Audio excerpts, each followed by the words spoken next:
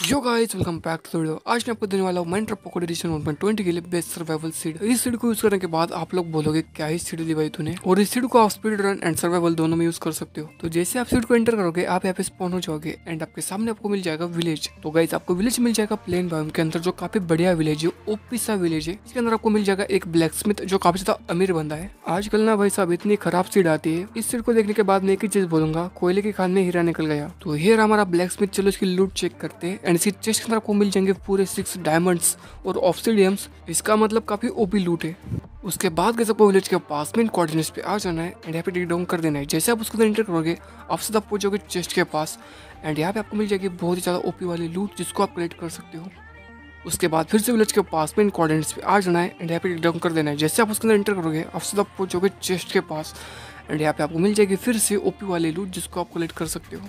उसके बाद गए सबको फिर से विलेज के पास में कोऑर्डिनेट्स पे आ जाना है एंड यहाँ पे डाउन कर लेना है। जैसे आप उसके अंदर एंटर करोगे, आप सीधा पहुँच जाओगे स्ट्रॉन्ग होल्ड के अंदर, जहाँ से आप इजीली एंटर ड्रैगन को डिफीट कर सकते हो। एंड उसी के पीछे गए आपको थोड़ा आगे जाना है एंड यहाँ पे आपको मिल जाएगी लाइब्रेरी जिसके अंदर बहुत सारी इंचांटेड बुक्स है, जिसको आप कलेक्ट कर सकते हो। उसके बाद आपको विलेज के अंदर मिल जाएगा रूइन पोर्टल एंड उसी के पास में आपको मिल जाएँगे टू गोल्डन ब्लॉक्स जिसको आप कलेक्ट कर सकते हो।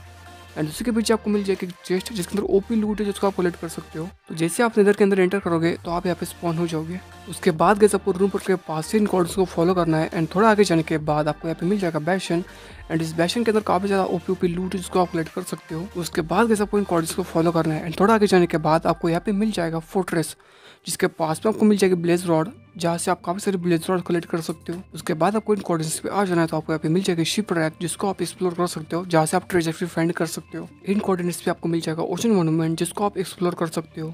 उसके बाद आपको इन कोऑर्डिनेट्स पे आ जाना है तो आपको मिल जाएगा प्लेजर पोस्ट जिसको आप एक्सप्लोर कर सकते हो। एंड इन कोऑर्डिनेट्स पे आपको मिल जाएगा वुडलैंड मेंशन जिसको आप एक्सप्लोर कर सकते हो।